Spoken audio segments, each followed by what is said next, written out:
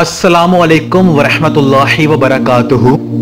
خواتین و حضرات، آج کی یہ ہماری ویڈیو آپ کے رونگٹے کھڑے کر دینے والی ہے۔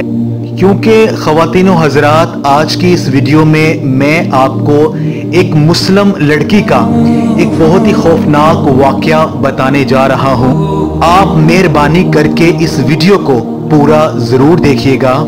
انشاءاللہ تعالی آپ کا ایمان تازہ ہو جائے گا۔ تو چلیے دوستو، شروع کرتے ہیں۔ دوستو، یہ واقعہ عرب کی ایک مسلم لڑکی کے ساتھ پیش آیا ہے۔ عرب کی ایک مسلمان لڑکی جو لندن میں پڑھائی کر رہی تھی۔ وہ ایک دن اپنی ایک دوست کے گھر شادی کے فنکشن میں جاتی ہے۔ وہ لڑکی اس فنکشن سے جلدی نکلنے کی بہت کوشش کرتی ہے، لیکن بڑی کوششوں کے بعد بھی وہ لڑکی اس فنکشن سے جلدی نہ نکل پائی۔ جب وہ لڑکی اس فنکشن سے فارغ ہو کر جب باہر نکلی تو رات کافی ہو چکی تھی۔ تو دوستو، اس لڑکی کا گھر وہاں سے بہت دور تھا۔ گھر پہنچنے کا ذریعہ صرف بس یا ٹرین کا سفر ہی کرنا تھا۔ لیکن وہ ٹرین میں سفر کرنے میں ڈر محسوس کر رہی تھی، کیونکہ لندن میں اکثر ٹرینوں کے پاس نشے میں دت لوگ پھر رہے ہوتے ہیں۔ اور وہ لڑکی اکثر اخباروں اور نیوز چینل پر ایسی نیوز دیکھا کرتی تھی، اور اس وجہ سے وہ اور بھی زیادہ ڈر گئی تھی۔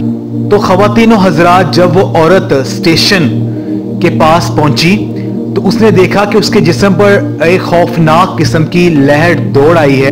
کیونکہ دوستو، وہ سٹیشن بہت ہی سنسان تھا اور اس سٹیشن میں صرف ایک ہی شخص کھڑا تھا اور وہ مجرم جیسا لگ رہا تھا اور وہ لڑکی اس شخص کو دیکھ کر اور بھی زیادہ ڈر گئی۔ پھر پھر اس لڑکی نے ہمت کی اور خود کو سنبھالا اور اس نے قرآن پاک کی آیتوں کو پڑھنا شروع کر دیا۔ اور اس اور اس لڑکی کو جو کچھ یاد تھا، جو تھوڑا بہت اسے آتا تھا، اس نے وہاں پر اس قرآن پاک کی آیتوں کو پڑھنا شروع کر دیا۔ اتنے میں دوستو، وہ ٹرین آ گئی اور وہ لڑکی اس ٹرین میں سوار ہو کر خیر و عفیت سے اپنے گھر پہنچ گئی۔ اور اس کے بعد اگلے دن اس عورت نے اخبار میں دیکھا کہ اسی ٹرین میں، اسی سٹیشن پر اس سے کچھ دیر بعد ایک لڑکی کا قتل ہو گیا۔ اور اس کا جو قاتل تھا وہ بھی گرفتار ہو گیا تھا۔ اس نے اس شخص کی فوٹو دیکھی اور وہ شخص اس شخص سے خوب ہو مل رہا تھا جو اس اس نے سٹیشن پر وہ کھڑا شخص دیکھا تھا۔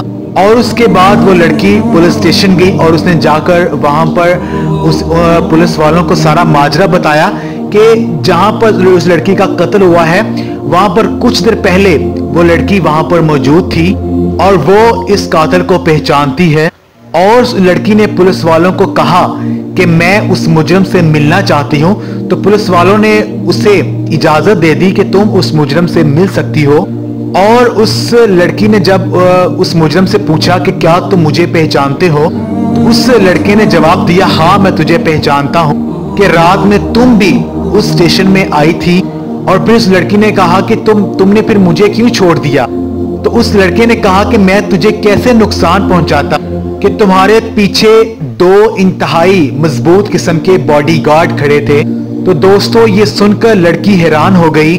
تو اسے یہ یقین ہو گیا کہ جب اس نے قرآن پاک کی آیتوں کی تلاوت کی، تو اس کی تلاوت کرنے کی وجہ سے اللہ پاک نے اس کی حفاظت کے لیے دو باڈی گارڈ یعنی دو فرشتے ان باڈی گارڈ کی شکل میں کھڑے کر دیے اور پھر وہ واپسی پر وہ لڑکی دل ہی دل میں اللہ پاک کا شکر ادا کر رہی تھی اور اب اس کا جو ایمان تھا وہ اور بھی زیادہ پختہ ہو گیا اور وہ اور بھی اللہ پاک کو یاد کرنا اس نے شروع کر دیا اور اب وہ دن رات قرآن پاک کی تلاوت کرنے لگی۔ سبحان اللہ۔ تو خواتین و حضرات، اگر ہم اپنے دل کی گہرائیوں سے اللہ پاک کو پکاریں اور اللہ پاک کی نصرت پر بھروسہ رکھیں تو ہم اللہ پاک کی رحمت سے کبھی بھی محروم نہیں رہیں گے۔ ہم دکھ اور پریشانی میں اللہ کو یاد کرتے ہیں اور اللہ ہماری مدد بھی فرماتا ہے۔ اور اگر ہم سکھ میں بھی اللہ کو یاد کریں تو ہمارے اوپر کوئی بھی مصیبتیں نہیں آئیں گی۔ اس لیے دوستو، اللہ کی ذات پر بھروسہ رکھیں تو اللہ تبارک و تعالی آپ کو قدم قدم پر کامیابی عطا کرے گا۔ تو خواتین و حضرات، آخر میں ہم آپ سے گزارش کریں گے، اگر آپ کو ہماری یہ آج کی ویڈیو پسند آئی ہے، اس کو لائک ضرور کریں اور اس کو دوسرے مسلمان بہن بھائیوں تک لازمی شیئر کریں۔ تو آخر میں ہم آپ سے گزارش کریں گے، اگر آپ نے ابھی تک ہمارا چینل قرآن اور حدیث کی باتیں سبسکرائب نہیں کیا، تو ہماری اس ویڈیو کے نیچے جو ریڈ بٹن ہے، سبسکرائب کو اس پر کلک کر کے آپ ہمارے چینل کو لازمی سبسکرائب کریں اور ساتھ بیل آئیکن کو لازمی دبائیں۔ کیونکہ اگر آپ نے بیل آئیکن کو یعنی گھنٹی کا جو بٹن ہے، اس کو دبایا ہوگا، تو ہم جو ڈیلی ویڈیوز اپلوڈ کرتے ہیں، اپنے اس قرآن اور حدیث کی باتیں یوٹیوب کے چینل پر، اس کا جو نوٹیفیکیشن آپ کو میسج کے ذریعے ملتا رہے گا، اور ہماری فیوچر میں آنے والی کوئی بھی ویڈیو آپ سے مس نہیں ہوگی۔